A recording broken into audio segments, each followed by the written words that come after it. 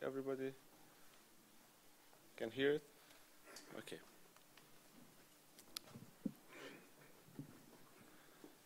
Okay, so let's start. Uh, uh,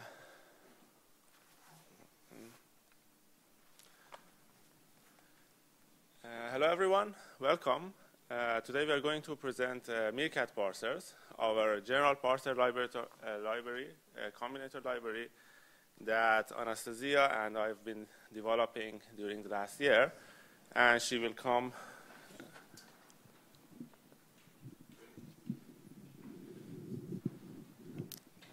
Better now? Okay. And she will come during uh, the second part of the talk and uh, present the rest. We are both PhD students at CWI, and CWI is the Research Institute for Mathematics and Computer Science here in Amsterdam. Just to give you an idea where is CWI, so now we are sitting in the center near the Dam Square, and CWI is in the eastern part of the city. Okay, so let's start.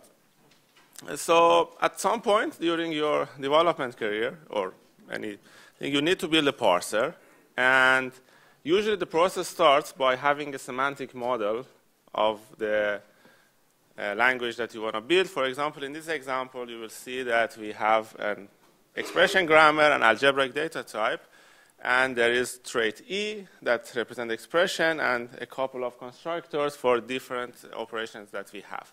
Okay, so for building a parser, or the job of the parser is to turn uh, text like that, to group it like that based on the uh, arithmetic rules, and then gives you the terms back so that you can pretty print it or use some interpreted over something like that. So the problem starts, okay, how do you specify your syntax that you can go from this text to these terms?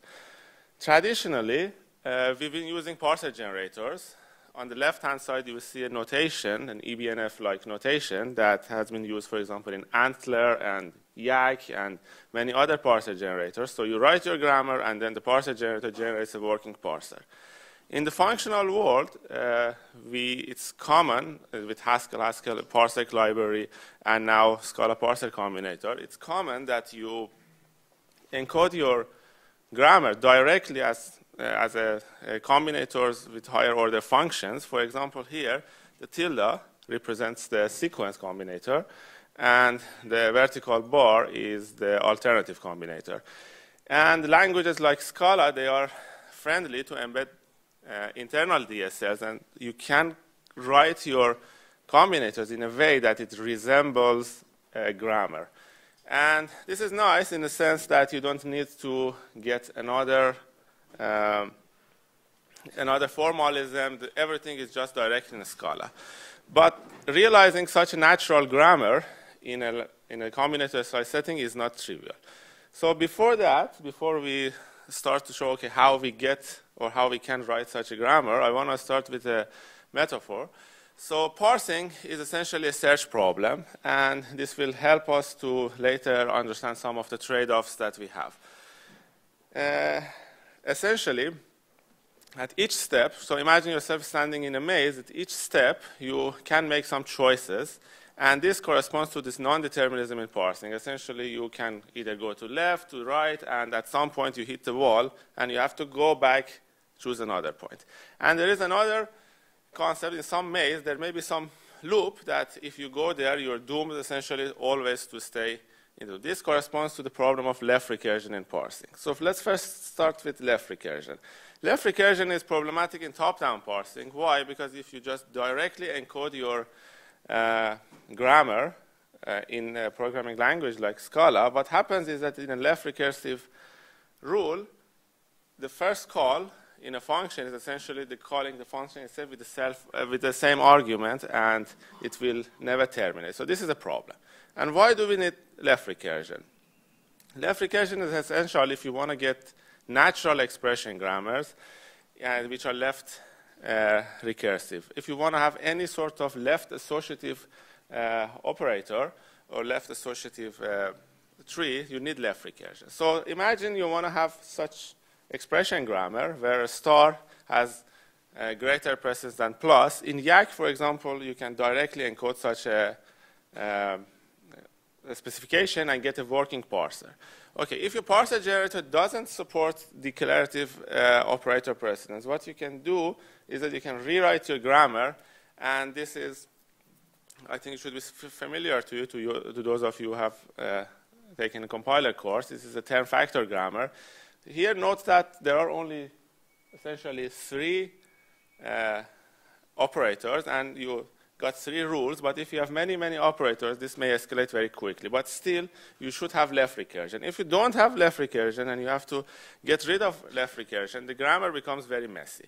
Although the whole process is automated, you can, from the grammar on the left, automatically get the grammar on the right, but the relationship between the original grammar is gone, so it means that if later you want to write an interpreter based on the terms on the grammar on this side, you have to transform things back. So this one, really, we don't want it. I mean, there is no chance that we want this thing. This second one is okay. I mean, we may have it, but it may uh, create troubles later if you want to add one more operator later to your grammar.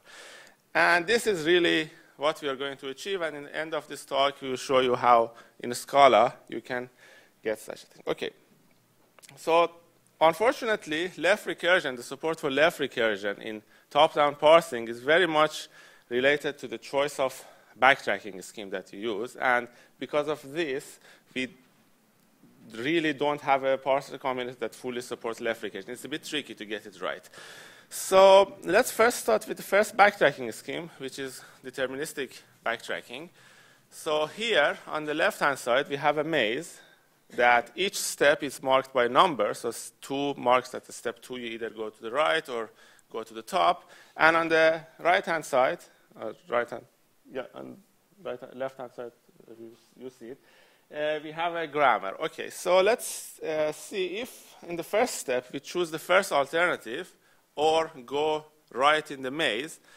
Then look at the input. The input is AC, but we've chosen AB. You match one A, but then boom, you fail. And because it's deterministic, there is no way you can go back. Okay, so if you want to use deterministic parsing, it's your job to make your grammar in a way that the parser can find its way. Otherwise, if you give such a grammar to a deterministic parser, you will get a parse error. It's been very annoying, and uh, oh, okay, so the one that you have, should have chosen is the other one. So it's very annoying, and uh, since many years ago, people started adding different backtracking schemes to deterministic parsing. One of the most known ones is peg parsing or parsing expression grammars, which is uh, a paper, I think, in 2004 or 5. And this popular, popularizes uh, an older concept. So here you have a local backtracking. In a sense, during each non-terminal, you allow to backtrack and find the exit. So let's consider the grammar. Here A goes to BD, and B is either A or AB.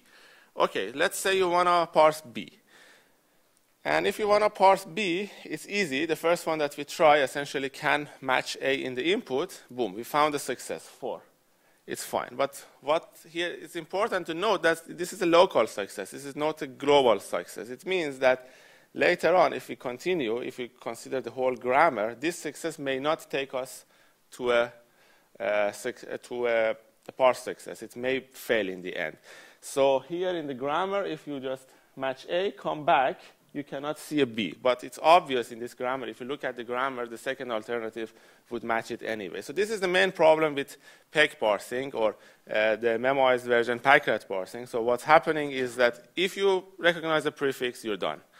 And this may lead to some sort of uh, problems in the sense that you think this is the grammar, it may recognize, it should recognize this input, but it doesn't. And another thing that I should mention is that the concept of non-determinism and ambig ambiguity. So, so far we haven't talked about ambiguity. We just talked about non-determinism. So non-determinism means you have multiple choices, but ambiguity means you, with these choices you can all parse the input. For example, in this example, it's expression grammar. If you have 1 plus 2 multiplied by 3, you can parse it essentially in two different ways. And in order to get ambiguity, you need non-determinism because deterministic grammars at most can succeed once. But there are many grammars that are essentially non-ambiguous, but they have non-determinism. Many paths die and one path succeeds. Okay. So we want this uh, left recursion, we want these natural grammars, but there are these technical problems that sort of hinders us to get it. So in deterministic setting, unfortunately, it's uh, impossible to get a top-down parsing with left recursion and build combinators. With LR parsing, bottom-up approaches is possible, but uh, okay, with bottom-up parsing, you cannot have a combinator. So that we should forget. With local backtracking or peg parsing, there is a paper that describes okay, how we can add uh, left recursion to parsing expression grammars, but unfortunately, this approach produces parsers a bias towards right, the right associative of left associative, and this approach has some problems. So the only way really in order to get left recursion in top-down parsing, you need full backtracking and you need to exhaust all the search space. So how does a general parser, by general parser I mean a parser that supports full context-free grammar, how does this compare to deterministic parser? A deterministic parser like ANTLR, uh, the previous versions, it's like a Formula One car. It's very fast, very efficient, given that you provide the racing road for it. Then it can quickly go to the end. But a general parser is more like a Jeep. It's a versatile machine.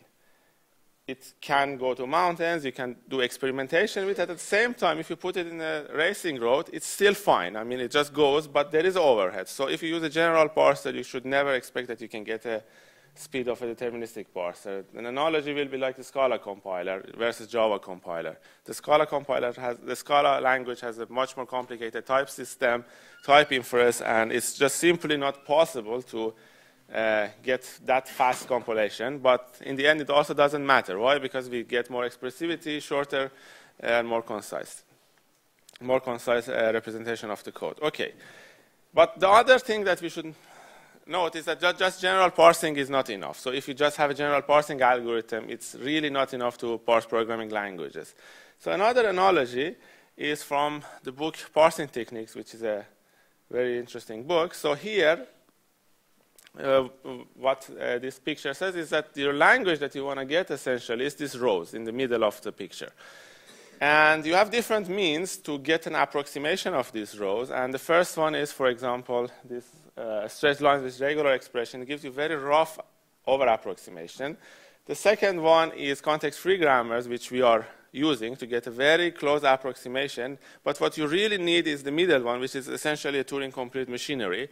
But there are no efficient parsers, and you don't really want to write your parsers by hand. So what we do is that we use context-free grammars and use some other means, some and these disambiguation filters, which we are uh, going to talk about, Anastasia is going to talk about in the second part, that to help us to get these rose out. So we want to get natural grammars, and this uh, cubic bound that uh, general parsers have is also not really acceptable. We want to have this near linear performance on near deterministic grammars. Okay. So what are these challenges that we are going to address in order to get a natural grammar and go to a working parser? The first one is operator precedence. So any reference manual, for example, if you look Java or Scala, the operator precedence is described using a table because this is the way we also learn in school. It's very natural. And there is a table usually that from top to down the precedence level goes uh, up and the left associative. But usually what you see in the implementation is something like that. This is taken from the Java reference manual. So instead of one expression on terminal, there are 26. If you're writing a full compiler and going for full speed, then maybe it makes sense. But if you're just hacking your DSL, writing such a thing is not uh, really feasible. And if you add one non-terminal, one operator in the middle, you have to rewrite everything else. So in the second part, we'll show you how you can use our parser, library, uh, parser library to declarative specify operator precedence. The other issue is these um, two separate phases of lexing and parsing. So traditionally, parsing has been uh, divided in two phases. First, the lexer runs over the string of characters, for example, in this, and then creates a stream of tokens. So a lexer essentially does uh, three things. First, it throws out white space and comments. So it has two benefits. First, it makes the uh, parsing process simpler, and second of all, you don't need to put uh, white space and layout between every two non-terminal in your rule you just write your context-free part as if no white space or layout exists. The second one is that you are going to get the longest match, meaning, for example, if you look at the print line, the print line is going to be uh, uh, returned to the parser just as one ID, not as a collection of IDs like P, R separately. So the longest match will be returned. And the, and the last one is that you need uh, keyword reservation. For example, if in the beginning is reported as an as a keyword rather than as an identifier. And in a combinator setting, we don't want that because first, this model is problematic. You usually cannot create just flow from lexer to parser. Usually what you end up in, a, in the end is that from because lexer needs some parsing context. What happens is that you need to make a loop. Okay, from the parser, give the context to the lexer, something like that. It's very difficult if you just want to get your language in, for example, Scala working, get your parser working. So we are going to introduce this so-called scannerless parsing mode that suits, uh, suits uh, parser combinators better. Okay. The last topic I'm going to talk about is about context sensitivity. So with context-free grammars, we can get many things, but there are still many constructs in programming languages. For example, if you want to parse Python, if you want to parse data protocol, at parsing some part of the input will affect the other parts. For example, in Haskell, whenever you see some of the keywords, for example, do, then everything should be off-sided regarding this keyword. So that one determines the rest of the, the parsing process. In monadic parser combinators, it's very common that you essentially chain your parsers and pass values. Now we also show how in our setting, which is general parsing, it's possible to support this sort of data dependency between parts of the parser. Okay, so this was the introduction to what and motivates our design choice. And now Anastasia will come and introduce you to the library. Thank you.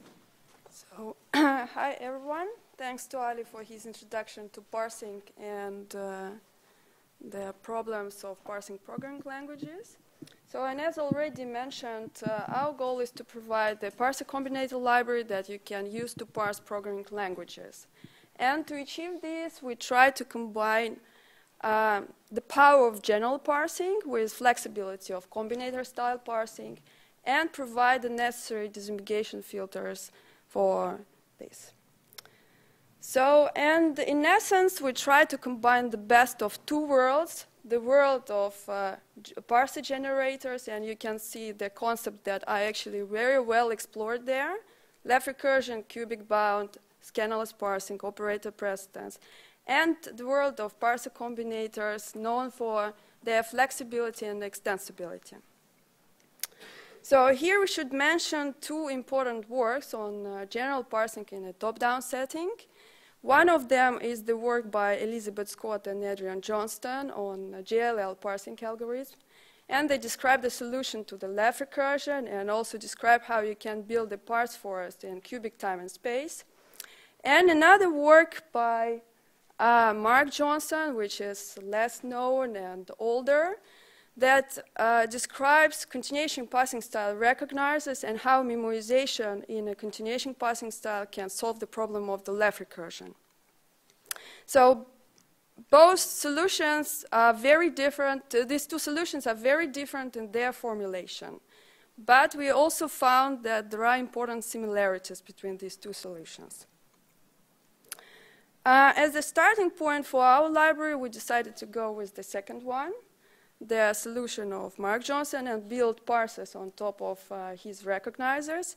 And the reason for this is that his solution is a functional formulation, and we think that it fits the nature of parser combinators better. So, but uh, it is important to know, or worth to mention, that uh, we actually uh, used our experience with GLL parsing, and this experience helped us to build cubic parsers on top of uh, Mark Johnson recognizers, and actually other way around. So we used our experience with Meerkat library, and we proposed a modification to a GLL parsing, and we published a paper about this uh, called Fast Practical GLL Parsing at uh, the conference called Compiler Construction this year. And we also submitted a publication that reports on our experience with the Meerkat library, but it's currently under review. So in a generalized setting, when you try to parse an input, you can get multiple valid parse trees back. And it is very essential that there is a way to efficiently store all these trees. and this is usually done by constructing a parse forest instead of separate trees. So, and you can see the example of the parse forest here, and there are separate nodes that represent each tree separately, but all the common subtrees are shared. So there is the most sharing you can get. But normal parse forest, which is called as SPPF, is not enough because we want to keep a cubic bound on parsing, and in order to achieve this, you actually need to build a binarized version of SPPF. And the essential difference between the normal SPPF and the binarized one is that there are binary intermediate nodes, so that you can keep ambiguities under the binary nodes, and that's the only way you can keep cubic bound on parsing.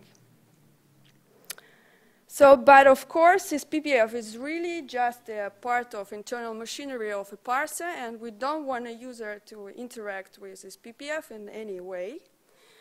Therefore, we provide a converter that takes this SPPF and produces a more user-friendly representation. So here you can see uh, uh, uh, the algebraic data type for this. And it is highly inspired by ATerm library, uh, which has been used successfully in ASF plus SDF uh, meta-environment, uh, Rascal language, Spoofax language workbench. And the essential idea behind this representation is that we try to hide all the information which is essential during parsing and uh, keep all the information that may be needed for further processing. So if we take a look at the, uh, if we get the previous uh, binarized SPPF that uh, I showed on the previous slides and convert it to this representation, you can get there, for example, here an ambiguity node, and there is all the information preserved so that you can take a look at the source of ambiguity and think how you're going to resolve it. So it's much cleaner representation and this is a visualization, and we also provide a visualization tool. And here it also hides some sharing that's going on behind the scenes. So now let's take a look at the basic parsers that our library provides. And in essence, a parser is a function. And uh, here I use the type alias in Scala, so the real types are a bit different. But in essence, it's a function that takes three uh, arguments, input, which is a constant during parsing, then the uh, input pointer, pointer to the input, which is just an index, and that changes over parsing, and it's SPPF lookup. So we need this SPPF lo lookup to, it's a factory object, and we use it to construct this SPPF. So, and uh, the continuation parsing nature of our parsers is hidden behind the result type. So the parser produces the result of its SPPF node, and its SPPF node keeps the current position in the input, and the result type uh, uh, hides the continuation passing nature. So result type is a continuation monad, and it is in essence a function that takes a continuation and doesn't return anything. And as a monad, it comes with uh, conventional operations map and flat map to enable composition. And also there is an or else operation that defines how to combine two results. And that turns our monad into monad plus. So now let's take a look how we can use our basic parsers to define an expression grammar. And as usual, uh, to define terminals, we can directly use Scala uh, characters or strings or regular expressions. And here you can see example of uh, two terminals, star and plus, and you can see that just Scala characters are directly used. And we need to use a function syn, here, and that's how we can define a parse, and uh, the non-terminal parse is of type non-terminal. So the syn function is important here, and there, are, there is two main responsibilities of this function. And the first one is that it takes the result of the sequence or result of the alternation and turns it into memoized function, so it does memoization, and it's essential for left recursion and cubic bounds. And the second uh, responsibility is that it takes the name of the variable that holds the resulting parser and passes this name for its SPPF construction. So, and here we need to thank Tony Sloane and his uh, DS info library, which is based on Scala macros. And that's, this library helps us to get meta information about the name of the variable and use this meta information while constructing his SPPF. So, and if we try to parse the following inputs, which is just expression that has plus and star, then uh, we get the following result, and it's again ambiguous. Uh, but you can see that all information about non-terminals, names of non-terminals, their rules, is present there. Right? So, but so far, we have a definition of the grammar that doesn't specify which derivation or which parse tree we actually want. Right? So here, at that moment, we get ambiguity, and we can just inspect it and see uh, what is missing. So now let's try to use the operator information and associativity information that we normally know from the math or we can read from the language specification uh, uh, uh, Ali showed the table before, and how we can use this information to declaratively specify or define what kind of parse tree we wanted to get. So first of all, we change the type of the parser to become an operator non-terminal of type operator non-terminal. And now we can extend our definition with the following combinators. The first one is a left combinator, and it takes a sequence and specifies that uh, star and the plus operator are actually should be left associative. So that's an associativity combinator. And the second combinator, which is a different alternation combinator and its alternation greater combinator, and it specifies that the star operator actually of high precedence than the plus operator, which means that the plus operator can be nested under the star. So let's a little bit uncover the magic behind the operator non-terminal, and it is a different function from non-terminal. It's the function that takes two integers and produces a non-terminal parser. And let me, and of course, sequence and alternation are different on this type. And let me a little bit explain the basic idea behind the implementation. And here I use the pseudo notation for this, so it's not real code. So, and the basic idea is again, we introduce two integer parameters, L and R in this case, to our non-terminals. Then we assign a number to each alternative, which is a left or right recursive. Uh, and based on this, this is called, or we call it a precedence level. And then based on the precedence level of each alternative, we uh, add predicates to the beginning of the alternative. And we also infer the arguments for L and R parameters that have to be passed. So, and that effectively allows us to exclude so, so certain rules from, from being predicted in a specific context. So um, by looking at this example, you may think that having two parameters is redundant because you can observe this symmetry, right, in arguments and uh, predicates. But it's really not the case because uh, two parameters are essential so the, for the cases where both binary and unary operators are mixed and the exclusions rules are not as trivial as here. So just believe me that it is important. And uh, we have currently a, a, paper under review that where we describe uh, this approach uh, in more detail. So. So now if we use this uh, parser and uh, we run it, this parser uh, on the previous input, we get just one derivation and that's the one which is desired meaning that the star is nested under the plus, and that corresponds to the fact that star is of high precedence than plus. So now uh, our library also supports semantic actions, and in many cases it is very convenient uh, thing to have because uh, you may uh, try to define based on the structure of your grammar immediately how you wanted to build your algebraic data type or immediately build an interpreter. So for example, here you have an example, uh, uh, you can see a simple calculator defined using the semantic actions in our library. And uh, we provide two combinators that can be used to attach semantic actions. The first one is a head combinator, and in essence, it uh, give you access to a substring that has been parsed by a non-terminal, in this case num, and convert can you can convert this substring to any value, and in this particular case, we convert it to integer. And another combinator and combinator that attaches the semantic action that defines how the values produced by symbols in the rule can be converted to another value. So in this case, we just directly define the dynamic semantics of the plus and star, right? So we take two integers and we either multiply it or sum it. So, and you can also see uh, the type change, and in this case, the type also specifies the value that has to be produced.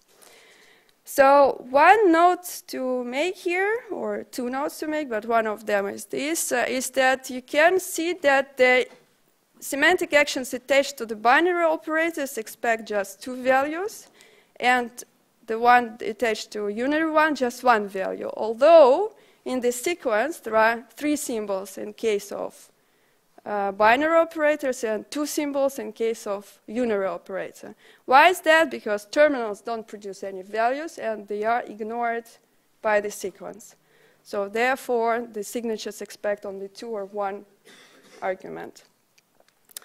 And one, maybe the most important note to make here is that we use semantic actions not to produce values that can be used during parsing right? So, and given that we are in a generalized setting and there are multiple passes, right, and many of them will die eventually, so we decided to execute the semantic actions and we find that it is important post-parse.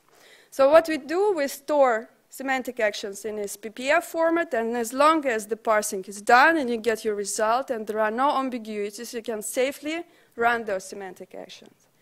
The important uh, uh, implication of this is that there is no danger for the bound guarantees that we provide because is, these values are not computed during parsing and you cannot break the bounds. So uh, now let's see how using our library can address the issues with the white space and comments and how you can actually define insignificant parts of the program. And for this, let's take a look at the sequence combinator signature. And actually, it takes an extra parameter, which is implicitly passed, and parameter called layout. And by layout, we mean white spaces and comments. And uh, the layout is just normal parser, so there is no magic behind it. And uh, this sequence combinator using, uses a more basic one that doesn't do any insertion. So what the a single tilde uh, operator does, it takes two parsers and inserts the layout in between and sequence these three with the more basic uh, uh, combinator. So and one important note here again is that uh, um, having such a design and passing the layout as an implicit parameter, you, so given that this implicit value taken from the scope, you can imagine the situation when you for example, wanted to define a different layout, or redefine it for certain parts of the grammar. And in many languages, in particular in Scala, for example, if you want to parse Scala, this is maybe important because the new line changes its meaning depending in which context it is used. So now let's look at the character level disambiguation filters as we support, support the scannerless parsing. And Ali mentioned that it is important because now, in certain cases, if we don't use regular expression, but we just go full scannerless mode, we need explicit longest match and explicit keyword reservation. And here we provide the combinators for this. So, for example, if you wanted to define your identifier, you have to exclude from this identifier if, as it is a keyword, and it shouldn't be recognized as a, uh, an identifier. And additionally, you have to uh, enforce the longest match. And uh, to do this, we use another combinator, uh, which is not follow combinator. And it just says that identify cannot be followed by any character. So and this, is, this effectively uh, enforces the longest match.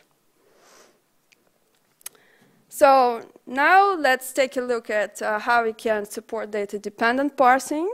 And uh, Ali mentioned uh, two use cases where this may be useful and actually useful is uh, one is uh, parsing data protocols and another one is indentation sensitive languages where you compute indentation and uh, if you wanted to do it in scannerless mode, uh, when you compute indentation and indentation defines how, um, how the groupings of, of statements, for example, or delimiters.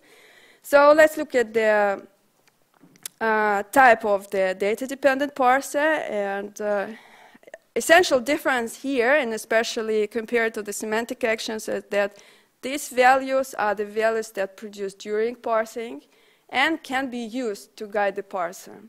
So therefore, now you can see that the type of the parser parameterized with a type parameter, and uh, there, will, the, there is a possibility to produce a value with this SPPF node that we always produce. So you can see the tuple, the result of a tuple that has a SPPF node and any value attached to it. So, and yeah, that's how it. So let's take a look at the example, and we have chosen to discuss example of IMAP protocol. And here you can see an input which uh, has a number in curly braces and uh, a sequence of um, characters afterwards. And actually, the number of, of characters afterwards is defined by the number provided in curly braces. So that's what IMAP protocol says, right? So if you write the definition of literal aids taken from this protocol uh, using our basic combinators, you can see that there is no dependency on the number and the sequence of octets. By the way, the star combinator here just directly gives you a parser that can parse arbitrary number of octets. So what can we do? We can use our data-dependent parsers. And first, let's define uh, a method, octets, that takes a number and takes a non-terminal and uh, produces a parser on the fly that has a specific number of uh, symbols sequence in a rule, right? So here we use the fold left to, to describe this uh, semantics. Now let's try to change uh, the literal A's, and first we apply the map, which is very similar to the het operator of uh, used for semantic actions, with uh, one essential difference is that the integer value computed here from the substring is actually inserted into the result of the parser. And this means that in some place, at some place in the sequence, we can use this number to do some things. And here we use the, we call the method, so we, we use a different sequence combinator that accept closures. And in this case, it's a closure that expects an integer number, and uh, this integer number is going to be the one produced by the number. And it calls a method octets to generate the parser. So, and if you take a look at the signature of uh, this sequence combinator, you may notice that it resembles the flat map that is commonly defined for monadic parsers, but there is a, one essential difference is that all the sequence combinators that we provide, they have a side effect of constructing a binary intermediate node. So that's, that's always the case, and in this case, it's the closure is run given the input, the par you run the parser, then there will be a node constructed and it will be attached to the previous result to create an intermediate node as uh, that's a foundation of our, our, framework to construct an SPPF. So, and uh, one maybe note uh, to make here is that, uh, well, in contrast to the semantic actions when we can still uh, keep the bound, the cubic bound guarantees, here you're sort of on your own. But for certain cases, this flexibility is useful and doesn't affect any bounds. So we, that's a handy thing to have. So now let's go back to the start of the presentation and look at our case study, expression language. And now, again, this uh, algebraic data type that defines uh, your expression language. And now we have also a definition of the parser for this language. And now we can use this parser to, we also use the semantic actions here. And now we can use this parser to get directly from the string to ADT that we want. So here you can notice that the left combinator that we use here is actually different from the one that I explained. And the difference is that so if we consider plus and minus operators, we all know that each of them is left associative, but they are of the same precedence. But there is another thing is that they are left associative with respect to each other. And that gives us an associativity groups, and in our library we also support associativity groups, in this case left associativity group. And we also didn't have enough time to describe, to, uh, describe uh, many uh, uh combinations that our library supports and in particular associativity groups, and uh, we can have left, right associative group, and also non-assoc associative groups, non-associativity ones, right? And uh, uh, the last one may be uh, very useful when you define the Boolean expressions. So we also didn't have enough time to uh, mention other character level filters that we also support. And we also support the BNF construct, and you've seen an example star so we have, for example, combinators for various kind of sequences, and the ones that also can be can uh, specify separator. So and now let's take a look at the Java grammar. And this this expression expression part of the Java grammar and this the grammar that is written in a natural form. And you can see that the whole grammar fits one slide. So which which means that, uh, yeah, it's more readable and it's more maintainable and uh, all the information is there about the precedence and uh, about associativity. And just to show you how good is this, so let's compare the one which is written in the natural form and the one which is uh, written, taken from the uh, specification. And let's see what is the difference. Yeah. So, so here I end our presentation, and again, there are concepts that we found essential and build the foundation of our library. And uh, here you, the source code is available on the GitHub. So now we are preparing some instructions and uh, just putting things, packaging things. So uh, well, it's advisable not to use it right now, but in the coming weeks uh, you can try it. And uh, this library is under development, and there are some missing combinators that we still we plan to add, right? We just didn't yet have time. But yeah, and but you can already try to use it. Thank you.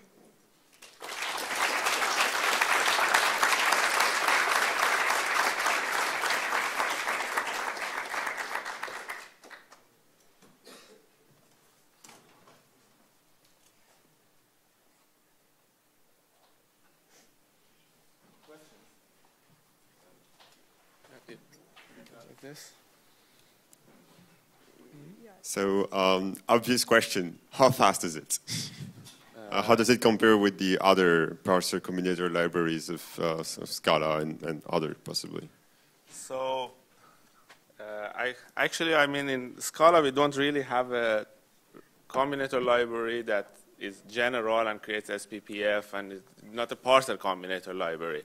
So the thing is that if you compare it to other things in the generator world, I mean, there is a bit of overhead of Scala because of this map and flat map that we use, but that can get away with the staging. So there is one worst case uh, problem, which is cubic. So we have this horrible gamma grammar that you can see it perform, but that's not what we want. So what we want is that we want near linear performance on near deterministic grammar. It means that if you give it Java grammar, because Java is most parts deterministic, we want it to run deterministically. And we also linearly, yeah. So we also embed regular expressions, so I think we can put the figures later outside. So for example, for Java, for the whole source code of JDK, almost all files like can be parsed below one second. But that can also get lower. But you should note that there is always an overhead. It will never be as fast as deterministic ones, but I think it's acceptable if you want to run some sort of source code analysis or do some DSL. So it's not worse than other things that you see in parser generators in these language workbenches that use general parsers. But we expect things to get better. We plan to apply staging, staging this LMS library to try to get rid of a bit of this map, flat map overhead that Scala introduces.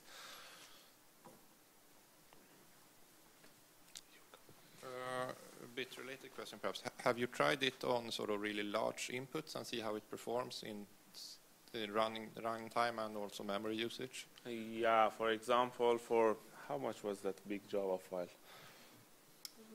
I don't know.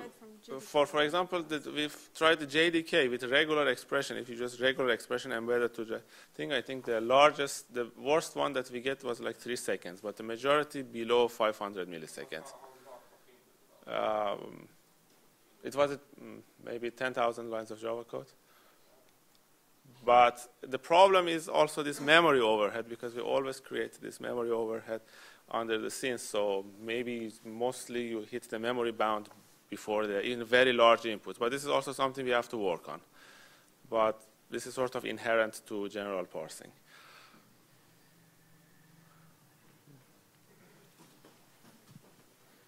Hi. Yeah. Um, I'm wondering about the, um, essentially what you're doing is making the context-free grammar uh, a lot simpler by making your parser uh, more powerful. I'm wondering, is it also possible to uh, compile your simpler uh, uh, context-free grammar to the uh, grammar that a simpler parser can accept? Like when you had the, your own Java grammar versus the actual real Java grammar, could you compile your grammar to the Java grammar and use a regular parser instead? What's the difference uh, between those two? Do you understand my question? If I understood correctly, you mean if we get this natural one and sort of rewrite it, transform it into the specification yeah. one? You, re you, rewrite the grammar instead yeah. of rewriting the parser. Yeah, but in, in behind the scene, I mean, there is no magic. It sort of simulates this rewriting because these parameters that we pass mm-hmm. essentially creates a new non-terminal that excludes things. But the whole point is that it's like the software development. You really don't care how the inner machinery works. You want to just give it something no, no, and it works. But here, I mean, under the hood, yeah, what's happening is essentially... It's essentially the same thing.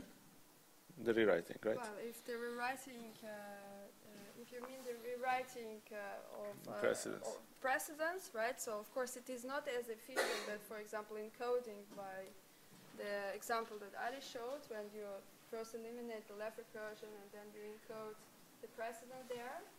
But there you get a different kind of tree, and you really need to be aware of uh, what kind of rewriting is going on. And for the large grammars, it's almost infeasible yeah. for non-experts to anyhow see, so there, there is a disadvantage there. But of course, our rewriting cannot be as fast as that rewriting. Yeah, and we need to try this LMS somehow to see how, to which extent we can get rid of this dynamicity that we introduce. But there is an opportunity there. There is an opportunity to try, yeah. Okay, thank you.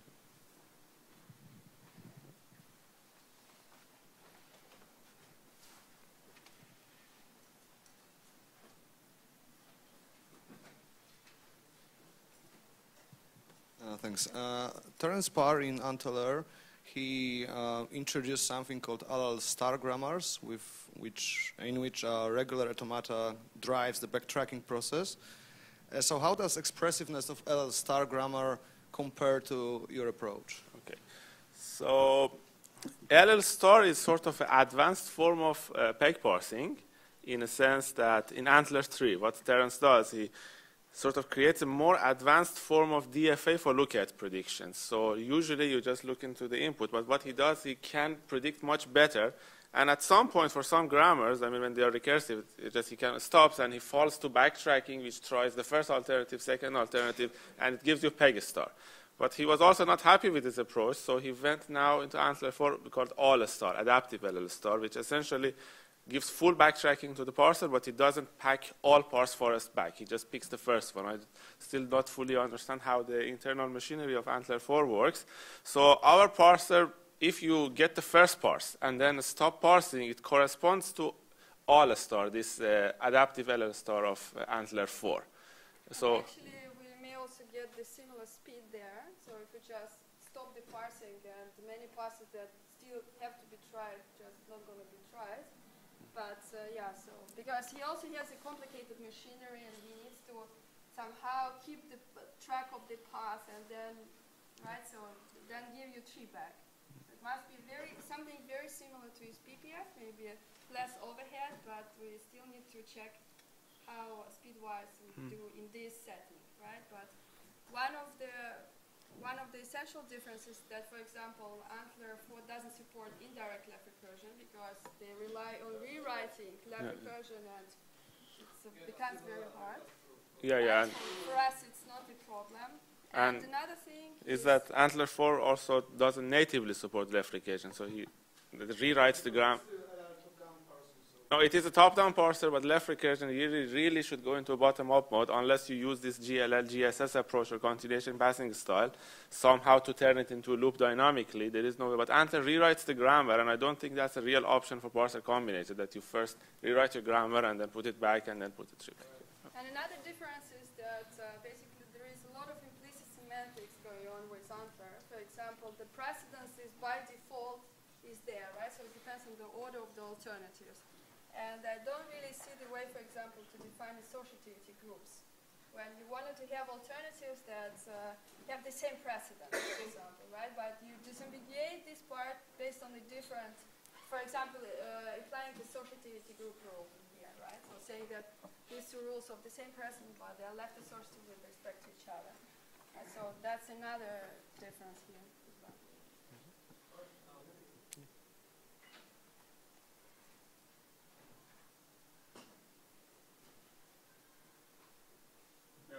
Yeah, sure. Do you use uh, lazy values uh, uh, feature of Scala?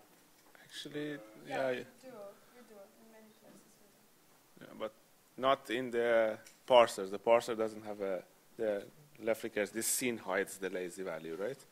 No, the termination is purely based on memoization. No, but but of course, uh, to to allow so in Scala, if, if you look at our recursive definitions, right? So there are value recursive values, and uh, for this you need either to use call by name, right? And what we do, or you need to define the la- it as a lazy val. Otherwise, even the compiler will not let you do it. So, but behind the scenes, in a couple of places, we do use lazy vals, but not to terminate left recursion or anything.